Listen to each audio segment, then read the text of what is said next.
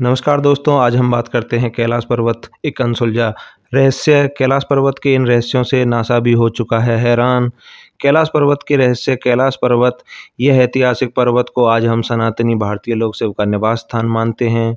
शास्त्रों में भी यही लिखा है कि कैलाश शिव का वास है, किंतु वहीं नासा जैसी वैज्ञानिक संस्था के लिए कैलाश एक रहस्यमयी जगह है। नासा के साथ साथ कई रूसी वैज्ञानिकों ने कैलाश पर्वत पर अपनी रिपोर्ट पेश की है। उन सभी का मानना है कि कैलाश वाकई कई अलौकिक शक्तियाँ मतलब भगवान की शक्तियों का केंद्र है।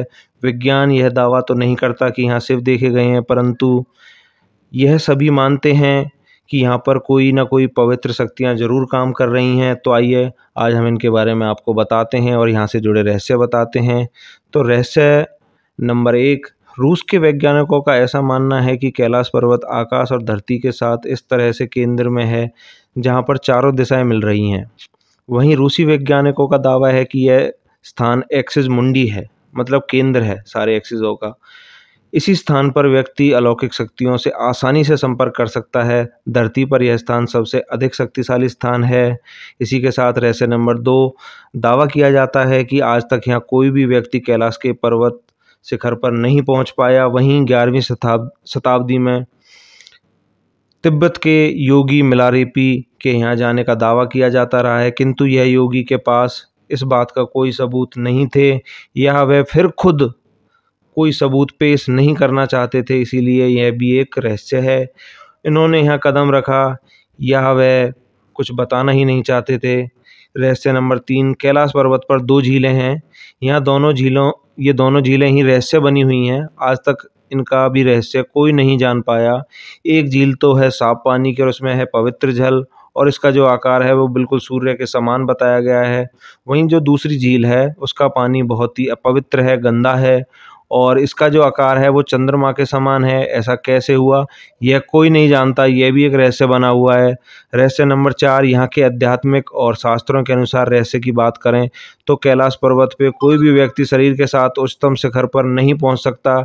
ऐसा बताया गया है कि यहाँ पर देवताओं का आज भी निवास है, पवित्र संतों की आत्मा को यहीं निवास करने का अधिकार दिया गया है। रहस्य नंबर पाँच, कैलाश पर्वत का एक रहस्य यह भी बताया जाता है कि जब कैलाश पर्वत पर बर्फ़ पिघलती है तो यहाँ से डमरू जैसी आवाज़ आती है, ऐसे कई लोगों ने सुना है।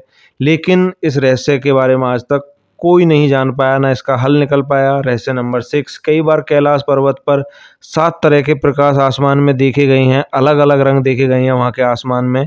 इस पर नासा का ऐसा मानना है कि चुंबकीय बल और आसमान से मिलकर कई बार इस तरह की चीज़ों का निर्माण होता है। कैलाश पर्वत दुनिया के चार मुख्य रहस्य नंबर सात, कैलाश पर्वत, दुनिया के चार मुख्य धर्म का केंद्र माना गया है।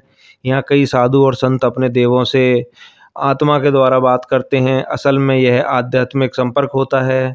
रहस्य नंबर आठ, कैलाश पर्वत का सबसे बड़ा रहस्य खुद विज्ञान ने साबित किया है।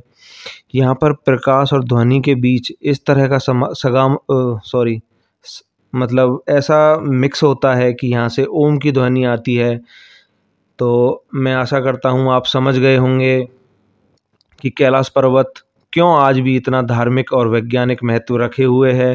हर साल यहाँ दुनिया भर से कई लोग अनुभव लेने आते हैं और सनातन धर्म के लिए कैलाश सबसे बड़ा आदिकालीन धार्मिक स्थल भी है और कई लोगों ने कैलाश पर्वत पर चढ़ने की कोशिश भी की है पर वो सफल नहीं हो पाए। इसी के साथ हम आपसे बता लेते हैं।